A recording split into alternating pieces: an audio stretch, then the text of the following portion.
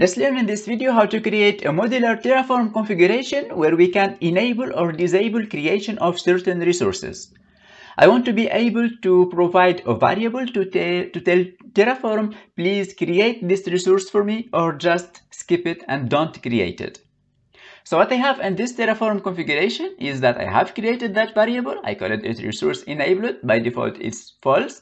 And then let's say, for example, I want to create a resource group. So what I want to have in Terraform is a variable or is a feature like enabled here where I can tell it, please create this resource for me. But unfortunately, this feature doesn't exist or doesn't exist yet in Terraform. So we need to figure out some other solution to do it. A solution to achieve that, actually, we do have two solutions. One of them is for each and the second one is count. Let's explore these solutions. So with for each and count, we typically use them to create one or multiple instances of our services. But we can also use them to create zero or one instance. And that is the case that I want to use today. So within for each, I can combine it with the if and else using those different characters here. And then I can say if resource enabled, that is my variable that I want to set up when I want to enable or disable that resource. If that resource is enabled, then the value for for each will be this map, which contains one uh, instance or one value. That means it will create one instance of this resource group. And if resource enabled is set to false, then it will take the second value after the two dots, which gonna be the empty map. This means here it will not, uh, for each will be empty map, so it will not create the resource group right here. So it's as simple as that. Now let's say, uh, because we are using the for each, so when we want to access this resource group from within Terraform, then we need to go through that key from within the map we use it here. So if my key is any value, then I should use the key any value to access that uh, specific resource group. And note here also to access that output, I can I put here an if and else. So the same here, if that resource is enabled, this means I would have that output, it will be defined, of course, okay? Because if I don't have that resource group, then doesn't make sense to get its ID. So if that resource group will be created, then I want to get the ID of that resource group using the key from within that map. If it's not set up, then here that value will return null. So that is the first option to access or to enable and disable creation of resource that is using for each. Let's explore the second option, which will be here using the count keyword. So I'm creating the same resource group, but here I'm using the count keyword. So I want to say here, if resource enabled, then that count would take the value one. If it's not enabled, then that value will take zero and it means it will not create that resource for me.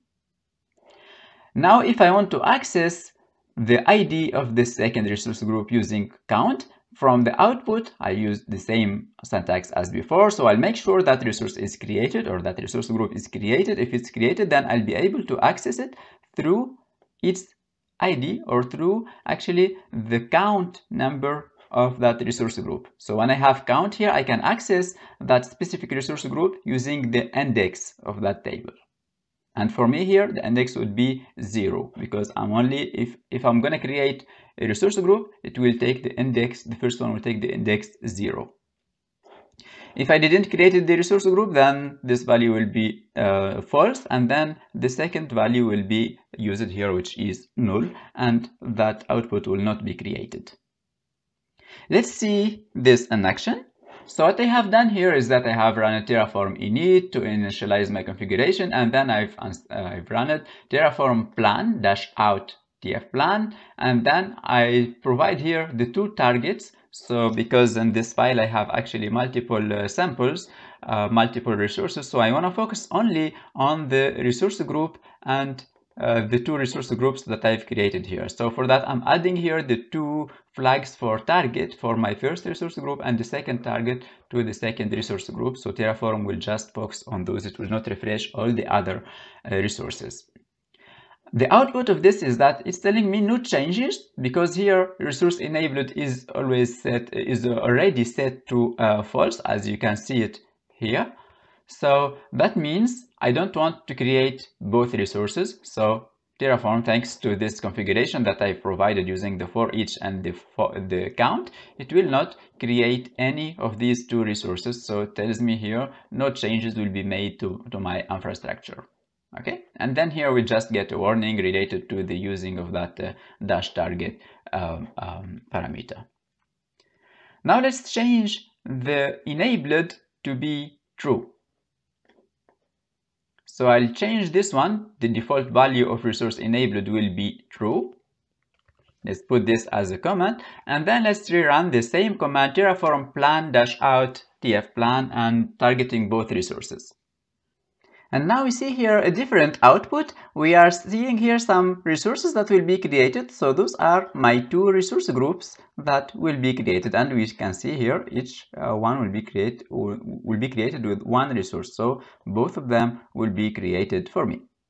So we have used the count and the for each inside the block itself. But what about nested blocks? So let's say here, for example, I want to create a storage account and they have a nested block that is the network rules, for example. So I can also use the dynamic keyword with that and they can also specify whether to create or not that nested block using count and for each. And by the way, sorry, count doesn't work for you. If you want to try it, it doesn't work inside the dynamic um, inside the dynamic nested blocks. Okay, so the only choice that you get here is to use the for each. So using the same syntax as before, I want to say here for each equal, then if whether that resource is enabled or not, and then you provide uh, a map with one or multiple values when you want to create that resource and an empty map when you don't want to create that resource. And then for the content, you put the network rules you want to apply. This is actually a nice feature used within Terraform configurations because when we create infrastructure onto the cloud, sometimes we want to uh, make that uh, infrastructure modular. So we want to create, for example, a virtual machine, then we want to add or not a bastion depending on the environment, for example, or depending on the type of uh, project. So making that infrastructure modular is really, really useful and uh, Terraform here provide those features for us. Thanks for watching. The Terraform template that I've used in the demo today is available on this GitHub repository called Terraform course.